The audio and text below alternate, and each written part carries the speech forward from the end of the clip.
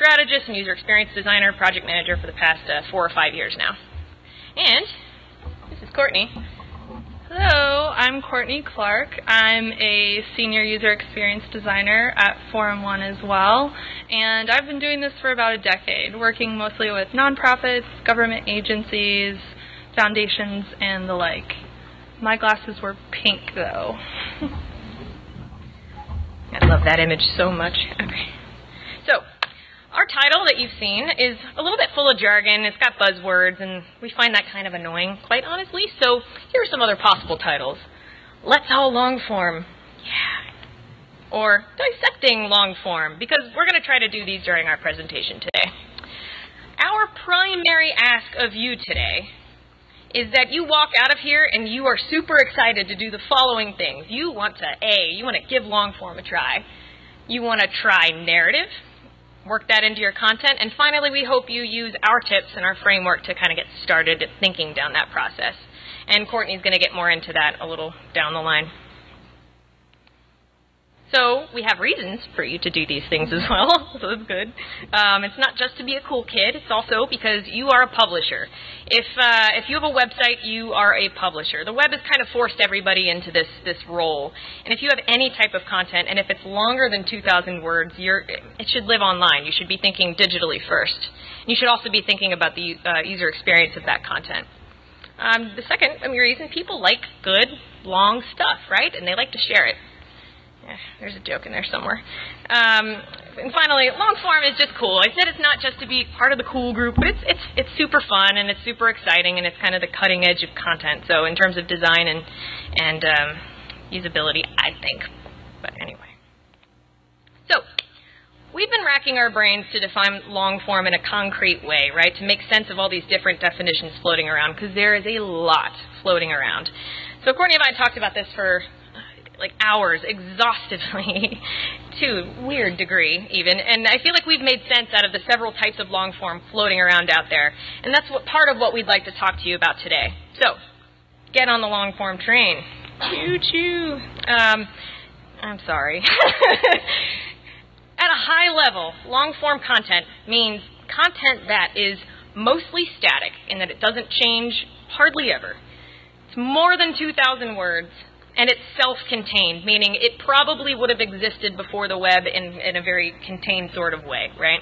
Examples of documents like this might have included, or might include brochures, like very long brochures, uh, policy reports, research articles, magazine articles, etc.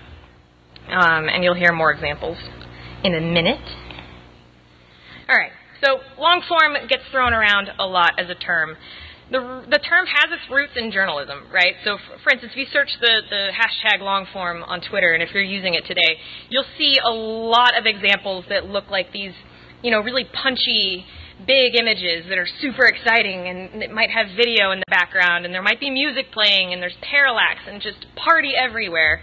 Um, a little bit like Snowfall, if anybody's familiar with that because a while back the New York Times published this, this article, Snowfall. It was a traditional long form feature style um, like news article, but it was really highly designed and it was, geez, it was all the rage. Um, and it was well written. That's really, I think, ultimately why it still lives around. But long form isn't just for journalists anymore, right? Since the web has ushered everybody, again, into publishing, long form is now of interest to, well, everybody, including, I think, everybody in this room. And because I'm increasingly frustrated with this phrase long form that I keep saying over and over again, Courtney and I got all reductionist. So here's how we propose long form be broken down. We reduced it to three elements. There's the look and feel, structures, and copy. So, of course, how it feels, how it's organized, and what it says. So let's dig into that a little bit. Look and feel, right? In the flurries of excitement around long form content, this is almost always what's brought up. You hear about these really strong reactions for like look at this beautiful video like we just mentioned with snowfall. Uh, i mean when that was released i mean nothing was really new as far as the copy went but it was it was a news feature right? But it was so pretty and so new. So a lot of times when long form content is brought up in any capacity especially in discussions around web and content design it's these elements that are probably at the center of the discussion and there are definitely clear trends, and I've touched on a few of them already. These, this tendency towards big, full screen images that are just so captivating. Uh, parallax is a big thing that keeps showing up everywhere for good or bad, I don't know. Um, and some, in some cases, sounds. I've seen a few articles that play like features of, of artists playing playing uh, music that they perform, um, loud colors, and, and again, striking imagery. But the focus, to be clear, the purpose of long form content is not on these elements. These elements are meant to support the copy. Next up, we have structure, or how that copy is organized. Well, there's likely a lot of room for discussion, and there's probably some nuance here, but we wanted to break it down as simply as we could. And so we, we broke it down into these two kind of opposite things. You've got a linear piece, or you have a nonlinear piece, uh, or what we're calling exploratory. Linear is in a line. Yes, I know that's very obvious, but I, I just want to make sure we get on this all get on the same page in terms of what we mean when we say linear. So linear content is meant to be read. I want to stress that. It's meant to be read, point A to point B. There is a beginning, there is a physical end. Think novels, magazines, uh, features, articles, blog posts, etc. It's about as classic as it gets in terms of published content. Two, with linear content, a reader's physical journey through that piece is, is almost completely predictable. They are almost exclusively reading from point A to point B, which makes brings me to my final point, and that that predictability allows us to design very specific experiences around that content because we know how they are going to go through it. Now, exploratory, on the other hand, is nonlinear. Yeah. And expects varying paths of progression through this piece of content. It's a lot more of like what we think when we think about a website. You click through it to get around. It's not meant to be read from start to finish for examples, I'm trying to think of, of better examples, but think of like a think of like a full magazine as a as a piece of exploratory content. You're probably not reading from cover to finish. You're jumping around and finding what you want.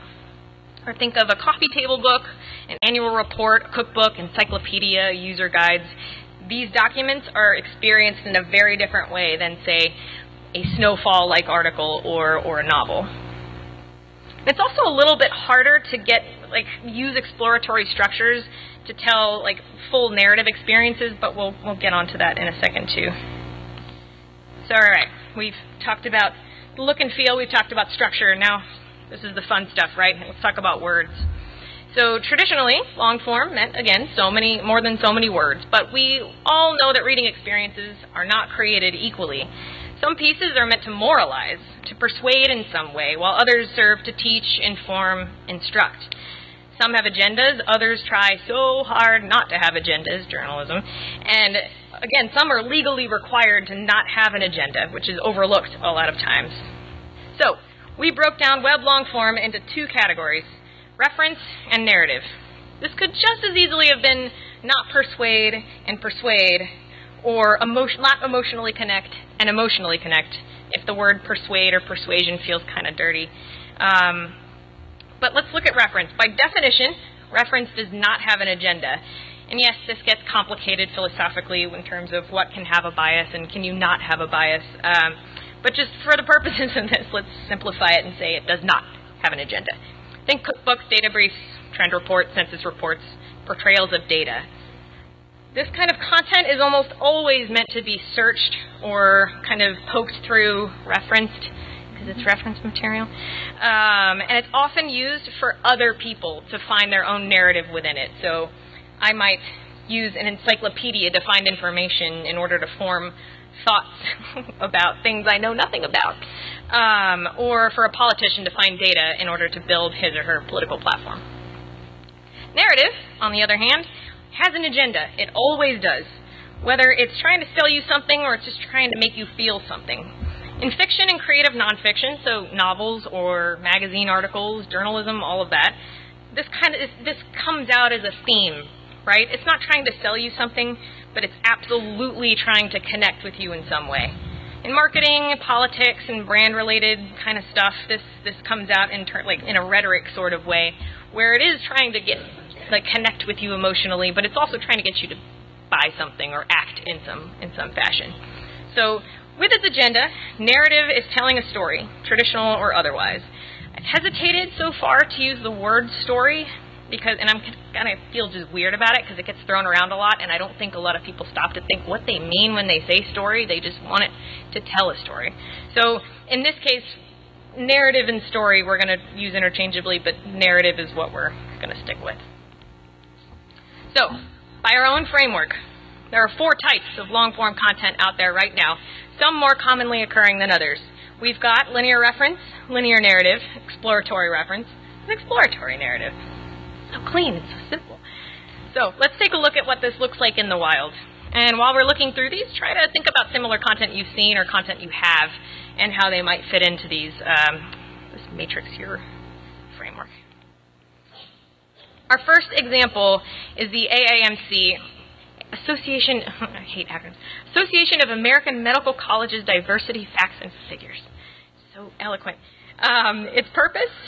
Well, it's exploratory in the sense that it's presenting a whole lot of data. Now, this report, if you don't know anything about it, I didn't for a very long time. Um, the purpose of it is to present a bunch of statistical information without forming any sort of argument. It's just giving you the facts, giving you the figures, hence facts and figures. Um, and so, in the idea that it's going to be clicked around, right? Nobody's going to want to read this from start to finish, probably. They're going to be searching for something they kind of already have in mind. They want a figure, they want a fact, and they want to build it into their own narrative. And again, the copy is trying very hard not to take any stance. Politically, spe- like they're as an organization, they're very actively trying to not take a political stance. So, reference. We've got exploratory structure. We've got reference copy. And we were hoping to actually find more examples of this, but they tend to hide in PDFs everywhere.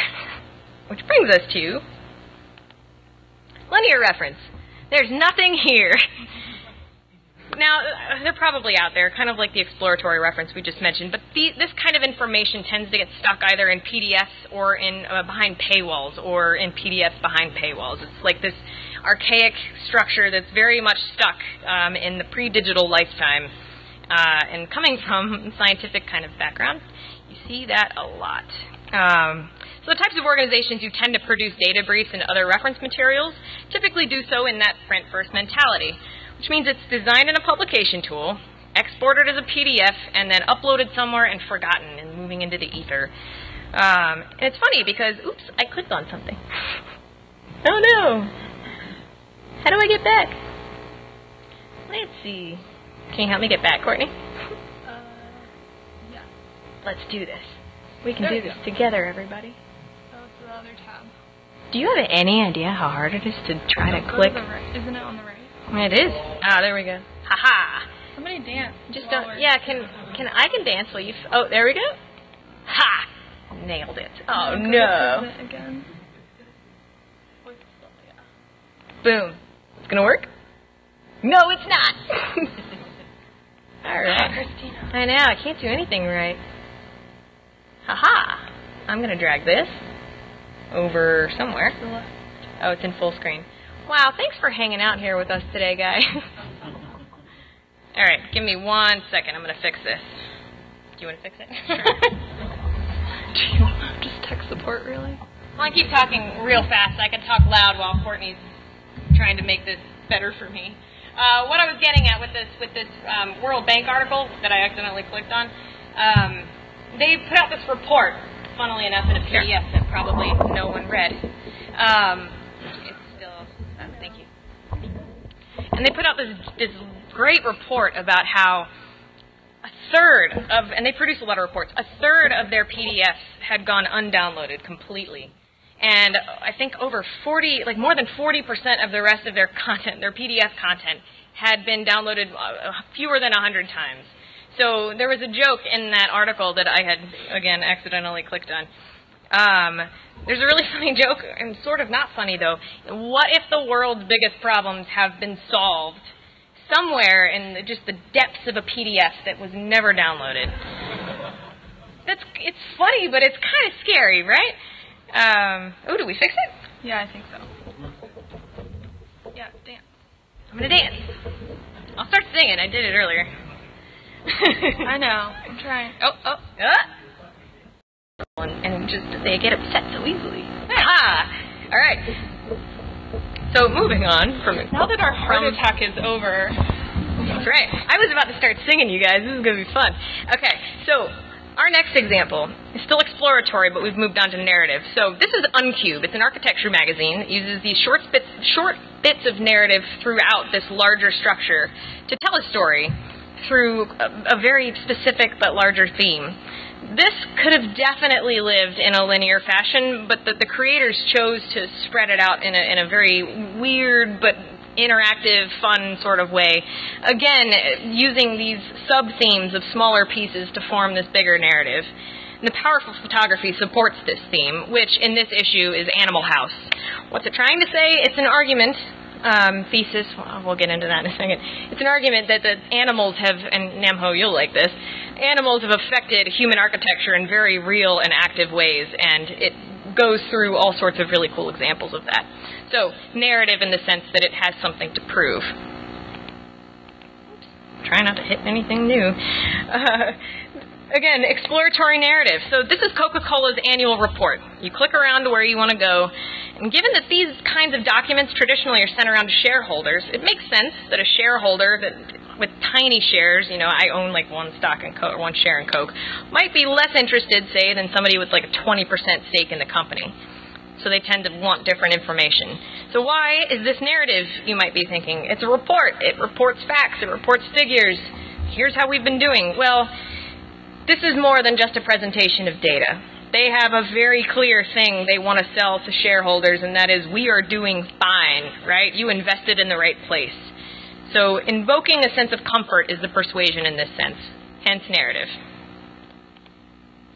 And yay, finally, this is my favorite, linear narrative. This is the low-hanging fruit of, of long-form content because it's the easiest to find. This stuff is everywhere. It's kind of the golden goose. It's what everyone wants to be. People bring up long form, they bring up snowfall, and this is a very similar piece. Russia Left Behind. It's from New York Times. It's journalistic. Journalism has had the most at stake in this in this sense anyway because they've been shaken up by this whole web thing. So they've been spending a lot of money and a lot of time to try to figure out how to make themselves I don't relevant is too harsh a word, but that's what it feels like. So why is this narrative, maybe you might ask, or I would anticipate might be asked? Journalism isn't supposed to be outwardly trying to convince you of anything except they absolutely, especially in long form uh, format, have to be hitting a point that says this is how this matters to you, right? They're not trying to sell you anything necessarily. They're absolutely trying to get you to connect to it in a way because that's what makes these long feature like articles good. And finally, a great example from an organization that I love, the Gates Annual Letter uh, from the Gates Foundation. This is known in our circles as a shining example of what other nonprofits could be doing with their content. So it's linear, and then it lives on a single page, and it has a beginning at the top and an end at the bottom. Now, this absolutely could have been exploratory. They've got a really great table of contents. They've thought through this, but they made a choice, and I'd argue they made a good one because by making this linear, they could anticipate that I would be starting at the top, ending at the bottom, and they added all sorts of really cool little interactions and they added quizzes along the way that just served as like punches to the gut the further you get down. They're like they knew how I was going to be going through this piece, and it's the linear structure that that allowed that. Um, and why is it narrative? Again, it's a, it's a letter, it's a report. Like a letter to shareholders, the Gates Foundation needs to convince readers of this letter that the foundation is solving the right problems and they're solving them the right way. Um, this is an this is evangelizing the Gates Foundation, and, and that's a good thing, I think. Uh, but it's selling a brand, right? It's selling big ideas. Okay, so at this point, I hope your wheels are kind of turning and you're thinking about your own website's content. Um, because if you have a website, you are a publisher. I'm going to keep saying that until it gets real annoying. So these are all great examples to check out, and I encourage you to keep thinking about this in the in the kind of framework we we propose. Um, you may have noticed though that most of our examples are narrative in nature, and that is not an accident. Stories are essential for making your point. If you have a point to make, you need stories. Whether you're a small Etsy shop or a huge, you know, world-changing nonprofit organization, you have stories and you should tell them. So, This is where we have to focus a little bit because we'll run out of time thanks to my technical problems and just that I blather a lot. So let's dig into the, the really abstract kind of head in the clouds fun stuff like stories and narrative. So I want to make one thing clear. We're going to talk about narrative now. The look, feel, and structure elements are a part of other talks we have in the works, but we just don't have enough time to get into them now. So, heads up. So, why are we getting all head in the clouds? Easy.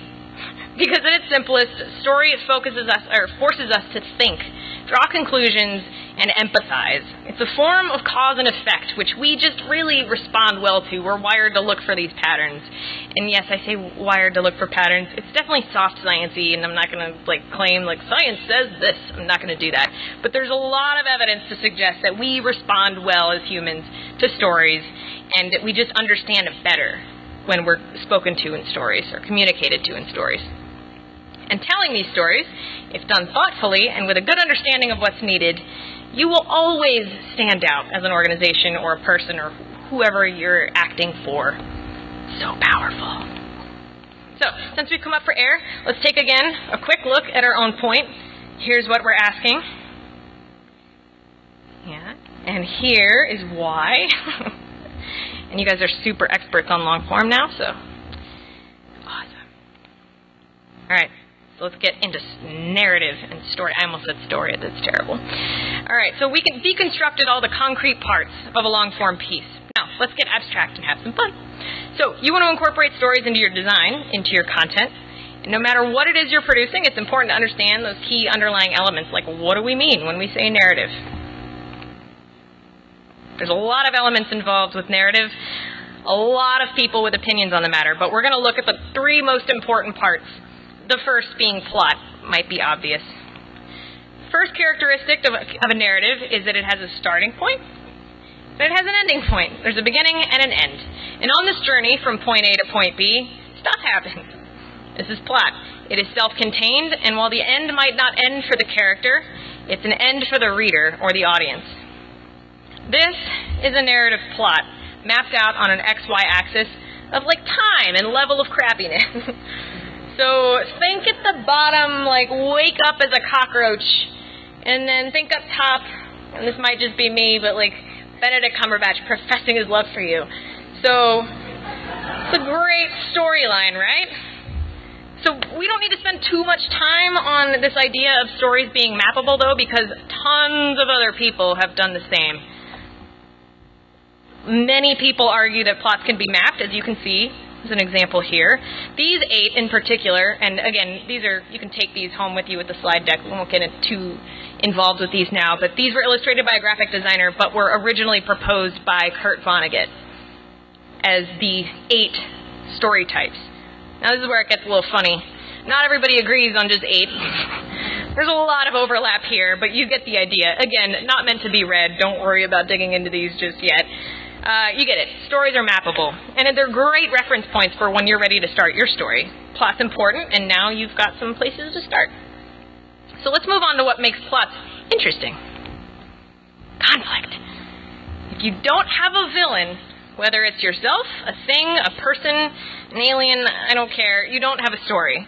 Plot without conflict is your main character sitting in her living room binge watching Netflix all day with a perfect wireless connection a fridge full of food and no self shame, like just at all. There's no conflict, there's no story. Luckily, conflict types have been mapped out too, and lo and behold, themes have appeared. And so it's cutting. Oh, it's not cutting off. Okay, good. Uh, you can see here I've organized things by person versus. It doesn't have to be person. It's whatever your an, or protagonist is. Could be organization, animal, again, alien. I don't know. So, for instance, in my previous example, I won't read all of these, but just giving you some concrete examples of what this looks like. My character from earlier, definitely not me, sitting her in, in her apartment all day binging on Netflix. This becomes interesting through the following conflicts. You've got person versus self. She starts to feel really bad about this whole like doing nothing all day thing and remembers all the people she's blown off. Conflict. Person versus technology her Wi-Fi stops working right in the middle of a really good Daredevil episode. Like, really good part, too. Conflict. Stupid conflict, but it's a conflict. Person versus God. Thor appears in her kitchen for some reason, fishing through her fridge. He grabs a beer and runs over to her couch and like sits down and stares her down. And he's like, "I'm gonna make your life miserable." Again, I don't know why. Just conflict, though. It's definitely conflict. And then person versus supernatural as another example. There's a ghost baby living in her apartment. And while she's watching Daredevil, she sees it out of the corner of her eye. It's so small, so scary. She panics. Conflict. Ghost baby, not again. Uh, but so anyway, you get it. There's without conflict, you've got nothing. And so we've created stories, ridiculous stories, but we've created stories through the use of conflict added to our plot. Finally, come on, Google. There we go. We have theme. What is your point? You have to have a point. I cannot stress this enough. If you're telling a story, you're selling something. I know I've been beating that in to everybody here, whether it's emotion, a product, a service, yourself, anything. When you tell a story, you aim to convince somebody of something. And so I'm going to get really preachy here. Theme, right? It goes by all sorts of horrible phrases that I'm sure everybody's got nightmares about from undergraduate English composition. Um, what's your point? What's your thesis statement? What's your central argument? The moral of the story, the big idea, the message. What is your point? It is a hard, hard thing to get a grasp on. It's the hardest thing about constructing a narrative. And it's just, it doesn't get easier until you just like keep trying, keep trying, and keep talking to folks. But it is your responsibility to make it happen. Because even with the best plot, the weirdest conflict, like Ghost Baby, if you don't have a theme, the underlying point, something people can connect to, you've totally wasted your time and it's just it's it's hopeless. So there's a lot of research out there on theme, and so I know I'm being super abstract. I'm not going to recap it all right here, but we've got some resources and are happy to continue this conversation um, after the talk or through Twitter, all the other weird ways we have to communicate these days, like at happy hour. Um, so at this point, I'm being so abstract and I'm getting preachy, so I'm going to let Courtney take over. So, Courtney, please bring us back down to earth. no more Ghost Baby. Aw. Aw. Okay, so really good points.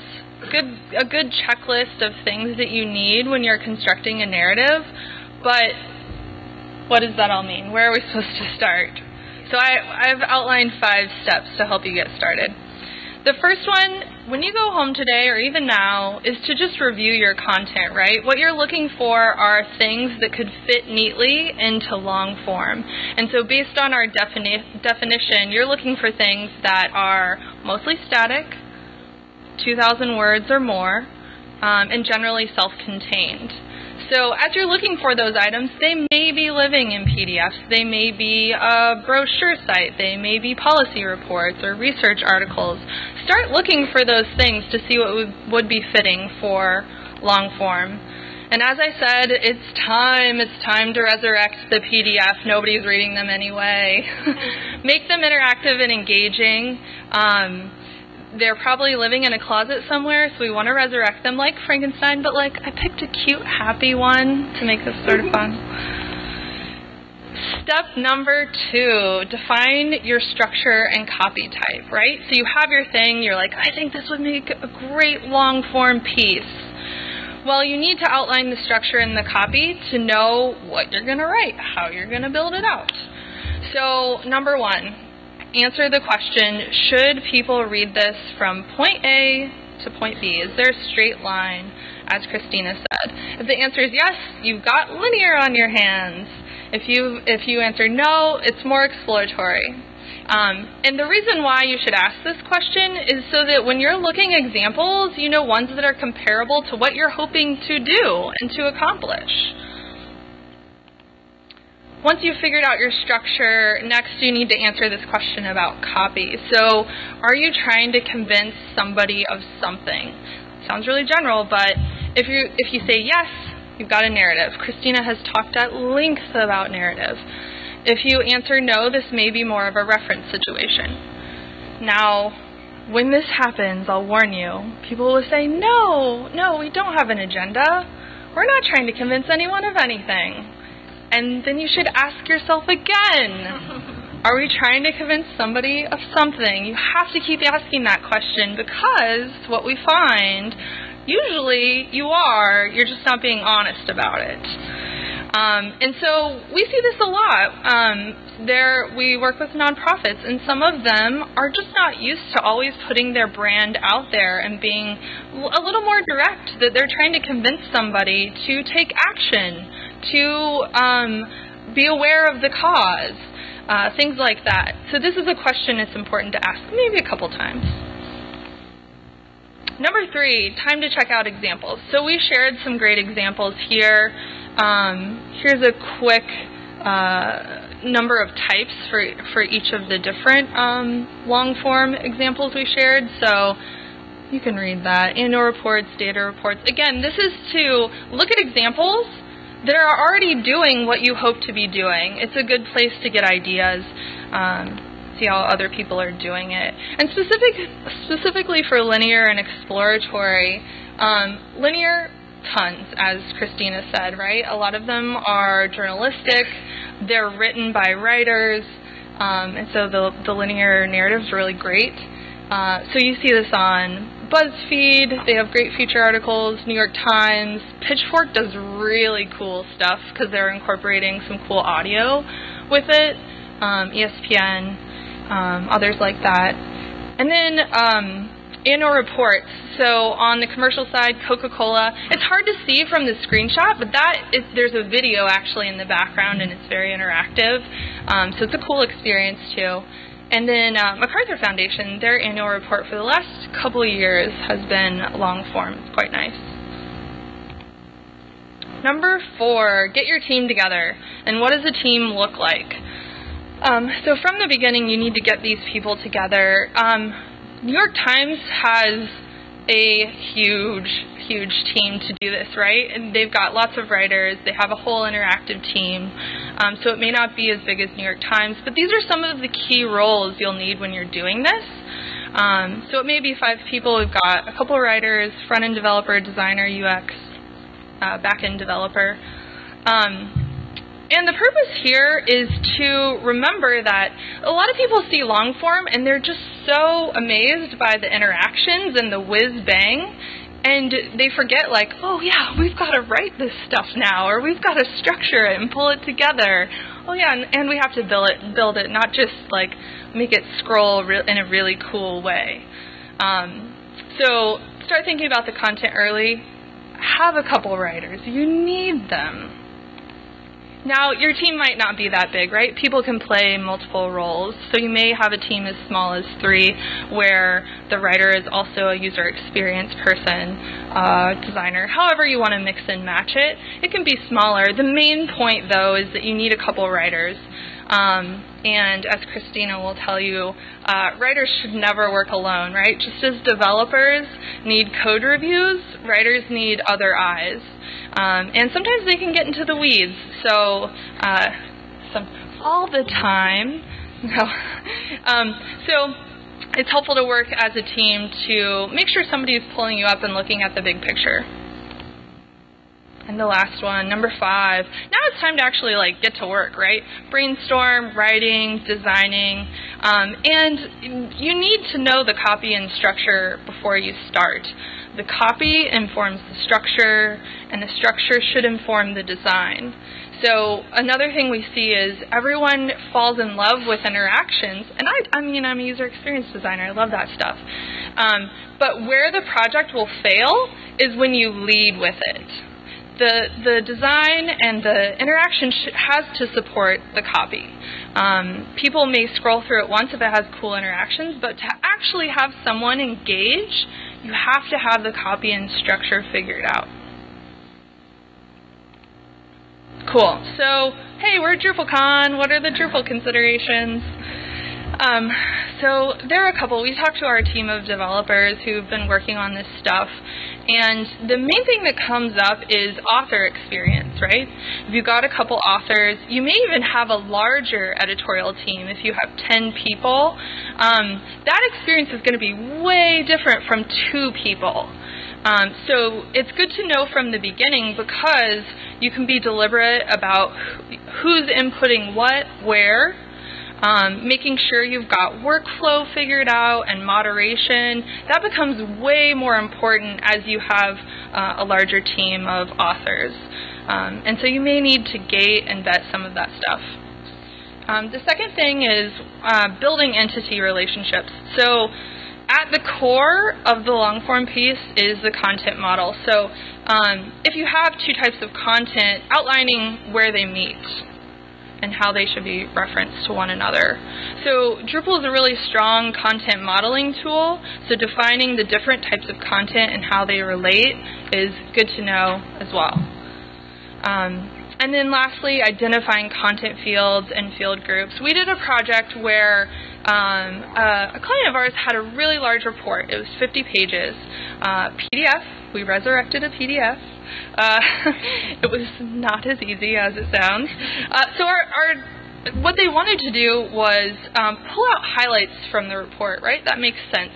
Um, and they knew that the highlights would be a video or an image or a quote. So we had to build a system where they could add a highlight and then fill out the fields for each different type of highlight, whether it was a, like I said, video, quote, or image. Um, so your developer obviously needs to know what types of things you're going to highlight and how if those are going to be reused, build it in a way that it can be reused. So in this case, the author could go in and add a highlight, choose what type of highlight it was, and fill out the appropriate fields. So this is super important stuff, right? Because um, how you build it impacts the experience people have. The last thing is, uh, so how, how do you prove author experience? Uh, well, there are a couple ways, obviously. Training and preparing staff, um, making sure you have good labeling back there, you know, making sure your field labels are clear. Uh, tooltips help, documentation helps. The main thing is having that open line of communication so that once the, the team has their vision of what they want it to say, um, that when they're ready to input content, um, they still know where to put things. And last, this is just because we wanted to embarrass Andy, really. But uh, Andy is one of our lead developers, and uh, he's very passionate about this topic. Um, and he emphasizes that Drupal is so powerful that sometimes that makes the author experience tough. Um, and he was very adamant about that. So, uh, great platform to do long form. Um, just be aware that you're going to have to consider um, the author experience when you're doing this. Alright, guys.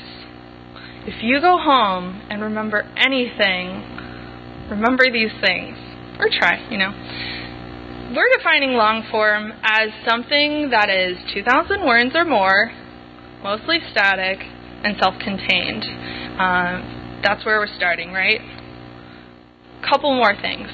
When you're talking about structure, we have defined it, or we're proposing that you either have a linear structure or an exploratory structure copy, narrative, or reference.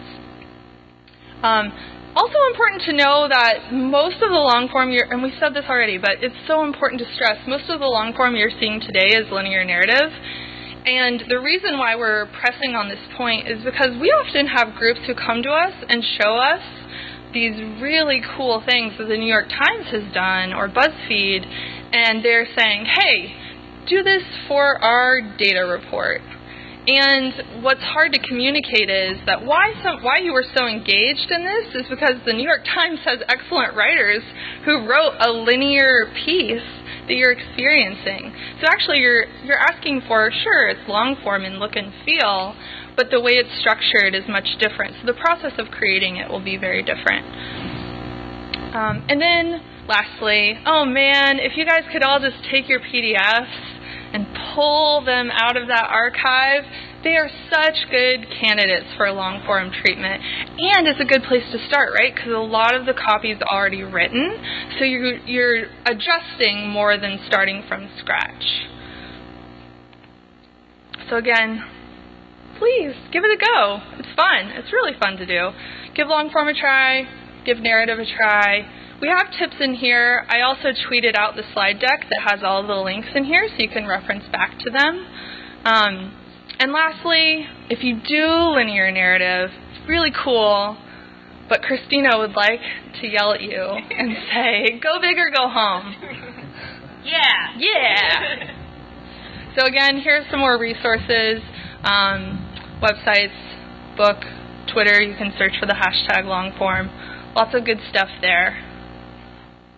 And then lastly, thanks. Thanks for coming. Thanks for listening. And you know, we're proposing that uh, this this uh, outlining what long form actually is, and we'd love to hear your thoughts and and challenge us even.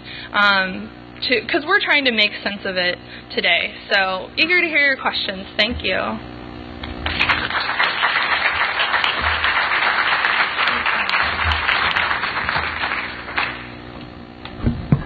Are you taking questions?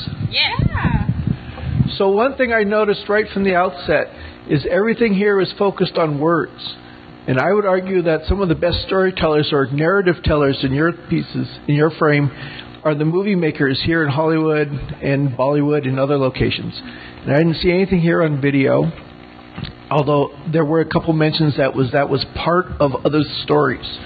And given people's attention now and preference for video, and just as examples, you can go and look for how many tutorials there are on Drupal and how many are written versus how many are in video. That you'd find a lot more people interested in paying attention to a well made video than a well made or well written long form article. Yeah, no, that's an that's a great point. And to and to it was one of the things we considered because it wasn't just video or uh, movies we were having an issue with. It was like, okay, where do films fit in, and where to or film or, or instructional videos, and, and where do video games fit in? This was a big one for me because I also write a lot about video games, and so we had to kind of just draw a line in the sand and say, okay, with long form content, we're just going to focus on words because all of a sudden we had this huge just just enormous topic. So, I mean, absolutely, there is totally a case for like, okay, should you consider this to be a video? Should you consider it to be like an app? There are lots of other ways this content could live, but we had to we had to just focus. but I absolutely I absolutely agree. And video games are another big big question mark too. I think. And a good idea for and, another talk. And a great idea for another talk. okay. Hi. Hi. First of all, thank you. Thank you. Um, I come from an English composition background, so I'm going to ask a horrible question. Yes. Um, at what point you talked about making an impact, and I know that we're talking about long form. At what point do you start to introduce the idea of visual media or interactive media in the process of constructing your content? I mean, does it redefine it at some point? I mean, and that's my horrible question because my immediate reaction is absolutely not. Mm-hmm. But I mean, it's in the forefront of your mind, right? As soon as you start to write, especially like a narrative where you, you know, I hate to go back to Snowfall, but mm-hmm. it's definitely encapsulated in a way to accentuate the visual media. Yeah, I think so. Uh, that's a great question. I think being flexible is the it's such an seems like a cop out answer, but coming from an agile background, I'm pretty sure I'm like beaten into me. So, in terms of when to start considering those interactions, I think once you start with the copy and you start with the theme and you start with those kinds of really heady ideas, and once you get to the point in the process where you're starting to think about those kinds of interactions, that is the right time for those things to be feeding off each other because chances are your big idea is going to stick around, but but overall, it, they're going to make each other better in, on all the right ways. So, do you find yourself going back and reapproaching? So, in terms, of, not in terms of theme, usually, I definitely in the in the projects I've worked on have gone back and started to reconsider the way I've I've kind of formed the plot, if you will. That's not the perfect um, term here, but uh, the plot has been restructured, but that big central idea doesn't really change based on those interactions. Okay, thank you. Cool, thank you. You're the best Elsa ever. Oh, thank you. um, so, I one of the reasons I really like reading long form articles is because I can stop and then pick them up later mm-hmm. and still be able to kind of think about it. What are some suggestions that you might have for things like bookmarking your spot, especially if you're using scrolling and not pagination? Um, how do you make sure that if a reader does go away from a piece, that mm-hmm. they can come back and easily remember where they are or pick up where they left off? No, that's a great question. And Courtney might be better. She's the UXer here. yeah. So obviously, in the Gates Notes example, there's a table of contents, and we're seeing more of this in some of the long form examples, especially the exploratory ones where there are clear sections so you know where you are as you're going through. So that's the obvious answer. What I haven't thought actually is for the narrative ones, bookmarking a place just like you would in a book, right? Um, that's cool. I haven't seen that actually. I've seen sites where you can highlight the text or they pull out potential tweets that you can have. But I haven't seen a place where you can put a marker and then my next question is like, how do they know that's your marker, and and how's it saved without creating a user account and all those fun things? Um, so I don't I don't actually know the answer, but it's a really great question, especially because there's such a huge tie uh, or comparison between actual literature or book and then the long form experience. Yeah, and I think, oh, just to piggyback on that, and I think we're going to see a lot more kind of experimentation around this exact idea as people are more and more convinced that no, people do have attention spans and they do like to read. It's crazy. Um, I think we're finally coming back around and giving people credit on actually reading. So I think we'll be seeing a lot more of this soon. That's a great question. I wish we had a better answer. I was like, this is how. Design it. Yeah. Hi. Uh, Hi. The uh, content authors that I'm dealing with mm-hmm. are just now understanding and learning the concept of writing for SEO. So I'm wondering how that, all that fits in. You know, like sprinkling, uh, you know, keywords within content and body mm-hmm. and things like that. If it's with, if it's in a narrative, a story format, is there a different method of writing for SEO than what is has been traditionally put put forth? So I go by what Google, um, one of Google's like top things they say about SEO is like if it's good and if it's structured well, that is the best thing you can do for SEO, right? And it's not the, the like the quickest and easiest answer, but if it's if it's good and people read it, it will it will perform well in search engines. Um, in terms of other like keyword style stuff, Courtney might know better than that, but good stuff. Yeah, it's an interesting question, right? Because in content strategy, there's this whole like creating a piece of content and having it be on tone on message, um, and style guides that accommodate for that. And and this is where journalists are really great at it. They've been doing that stuff for so long. Um, so it is a new way of thinking for people who are just starting to write web content. Um, and it, I think of it as sort of a, a, parallel track with this, or even a step that happens before, where as a as an organization or as a group, those defining the tone and the key messages um, should happen early and uh, should work across all your content, right? Because it's repre- representing that single organization. Um, so we have we we walk through messaging architecture activities, talking about primary, secondary, and so on, messages, tone, all the style guide stuff. Whoa, it's the ghost baby. I knew it. Um, so, uh, so your question, can you say your question again? Because I think I answered it.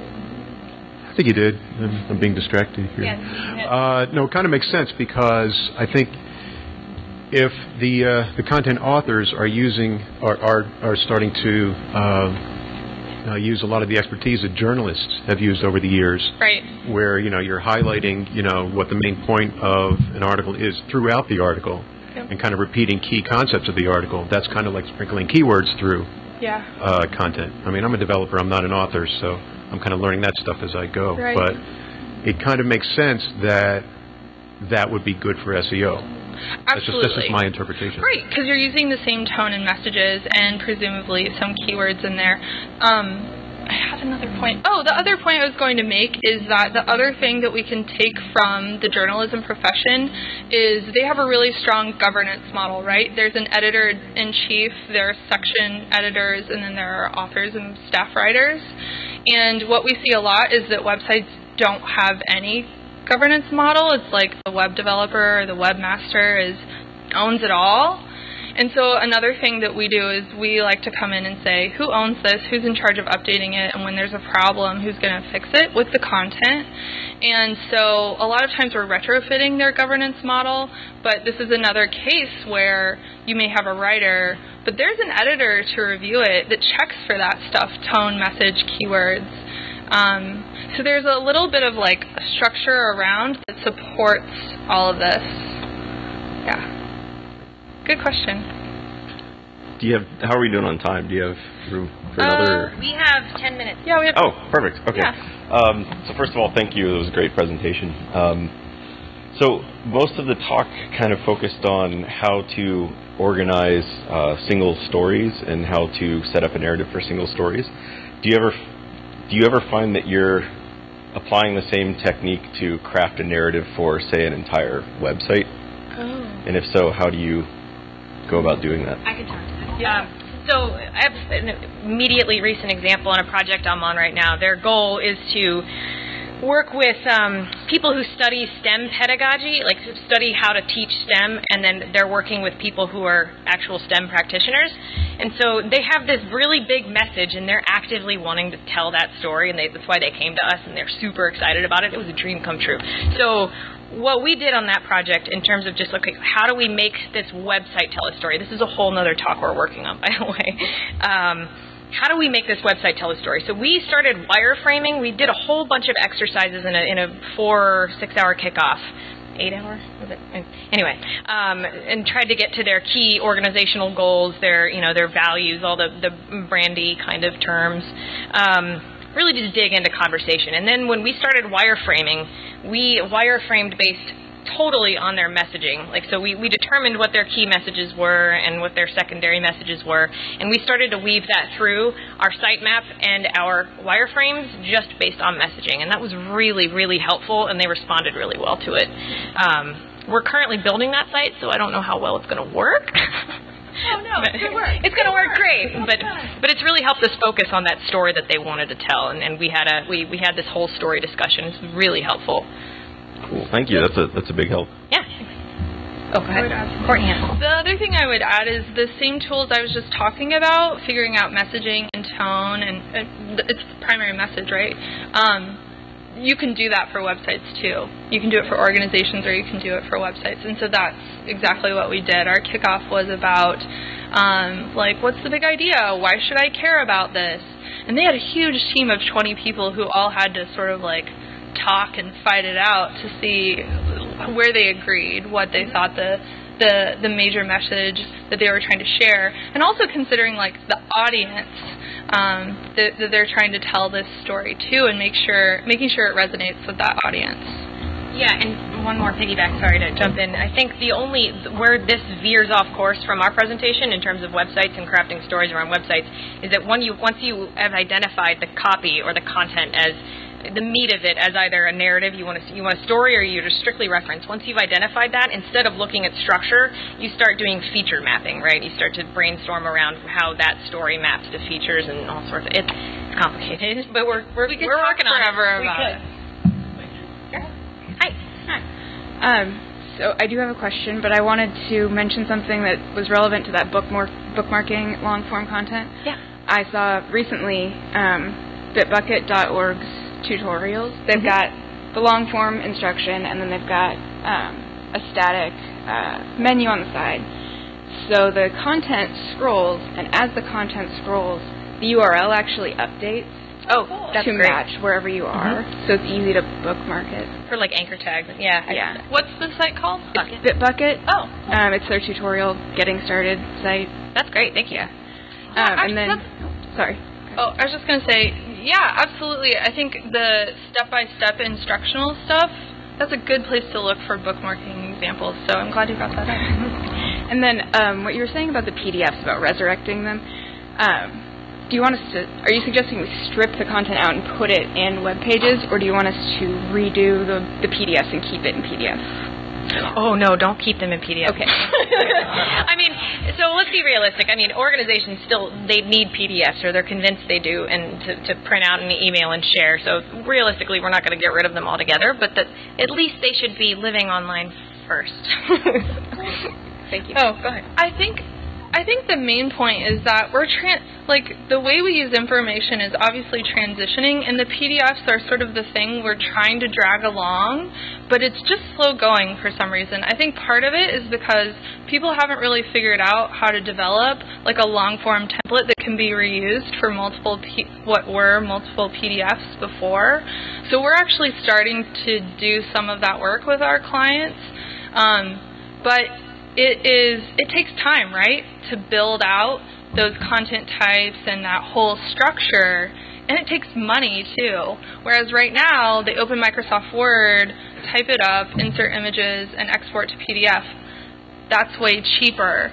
Um, and so it's partially a time and cost thing, but our point is that it can be way more engaging if you figure out how to publish it on the web. It helps your SEO, it helps your organization's prominence. Like there are a lot of great things if you're willing to invest in it. And there, and that's going to happen slowly because in education, educational programs, I mean, I've, I've witnessed it firsthand in grad school. They are still educating, like publication first or non-digital first uh, design. So that's going to happen slowly, probably not by by those folks. Hi. Hey, I was just gonna sort of uh, pimp Eaton's talk from earlier this morning. Uh, he did uh, basically an exploration of uh, linear narrative content uh, in the long form style and how to associate rich media back with it. Um, so if anybody's looking at the technical details of, you know, trying to get that content pushed into the actual story you're Oh, producing, that's a, a great place to get started. Whose talk was that? Sorry. Uh, Jeff Eaton's. oh, great. Yeah. That was the like fighting over the Yeah, body- fighting over the body field or Yeah, something yeah. along those lines. Yeah, Definitely great check that out. yeah. Thank you very much. We should piggyback. We should like. We should. Great. Well, Any other questions? Gotta go. Sing I'm not going to sing anything else. Triple cut. And for all of you out there, Forum One is hiring, so visit us, come chat with us now or at our booth. Uh, check out this URL. Thank you. Thanks, everybody. Check that. Yay. So we should take a picture. I'm getting you.